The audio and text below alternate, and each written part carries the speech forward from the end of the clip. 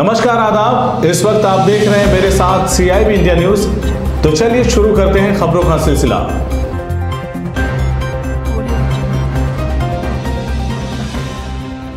आवारा घूम रहे गोवंश द्वारा किसानों की फ़सल को किए जा रहे नुकसान व आए दिन गोवंश द्वारा लोगों को चोटिल किए जाने की खबरें लगातार मीडिया में प्रकाशित हो रही थीं। साथ ही साथ जगह जगह हो रहे प्रदर्शन को देखते हुए शासन प्रशासन के आदेश के बीच नगर पंचायत भोगांव के कर्मचारियों ने लाठी डंडों से लैस होकर रामलीला मैदान में आवारा घूम रहे गौवंश को नगर पंचायत के रामलीला पंडाल में बंद कर दिया। तहसील प्रशासन द्वारा शासन की मंशा को देखते हुए गौवंश को एकत्रित कर रामलीला मैदान के पंडाल में तो बंद कर दिया गया, लेकिन उनके खाने पीने की कोई व्यवस्था नहीं की गई। पास ही बने नगर पंचायत के मैरिज हॉल के समरसेबल से गौवंश के लिए पानी की व्यवस्था तो कर दी गई।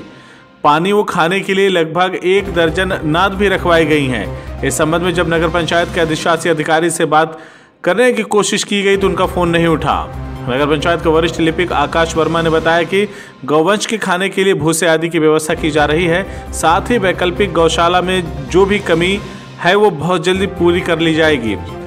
वही गौवंश को पंडाल में घर कर बंद करते समय सोनू नामक एक युवक भी घायल हो गया, जिसे नगर पंचायत के बाबू आकाश वर्मा द्वारा उपचार कराया गया। लगभग चार दर्जन से अधिक गौवंश को बाउंड्री युक्त पंडाल में घेर कर बंद किया जा चुका है। आगे भी ये काम चलता रहेगा। क्या नाम तुम्हारा? है? ये चोट कैसे लगी? ये गाय पकड़ने। गाय यहाँ जो घट्टी कर रहे थे? गाय से चोटे हुए ज़ोर से बोलो। अगर आपको हमारी खबर अच्छी लगी तो खबर को लाइक करें शेयर करें और चैनल को सब्सक्राइब ज़रूर करें। साथ ही स्क्रीन पर दिख रही घंटी को दबाएँ ताकि आप तक हमारी सभी खबरों के नोटिफिकेशन पहुँचते रहें।